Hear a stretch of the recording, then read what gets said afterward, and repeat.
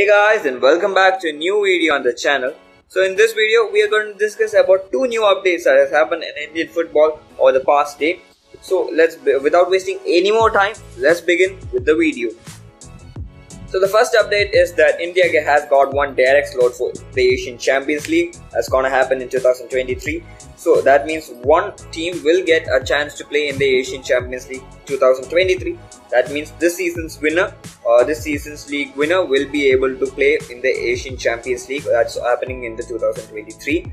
And then one direct slot and one playoff slot has been given for the AFC Cup 2023. That means the secondary competition, that's the AFC Cup. That we have also got one direct slot and also one playoff slot for the AFC Cup 2023. So that are the different, uh, different kind of uh, slots which has happened for Indian football team for next uh, Asian Cup competitions. So that's one update. The next update is that a very positive update for Indian football, a very much needed update for Indian football that AFSDL and the All India Football Federation will invest more than rupees 10 crore in the next three years towards the development of referees in India. The referees have been a major drawback of the ISL season, back to back ISL season. Even this season, they have made some mistakes.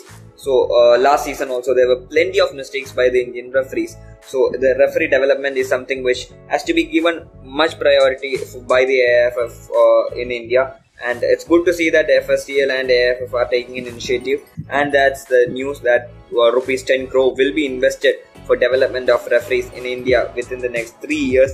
So that's going to be a good update, a good upgrade for all Indian referees and for the development of Indian referees. So let's hope that this investment pays off and this investment gives good returns and the development and the quality of referees in India goes up and we can see more exciting matches.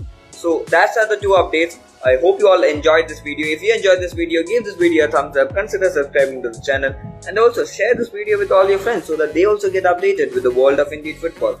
And thanks for watching. Bye.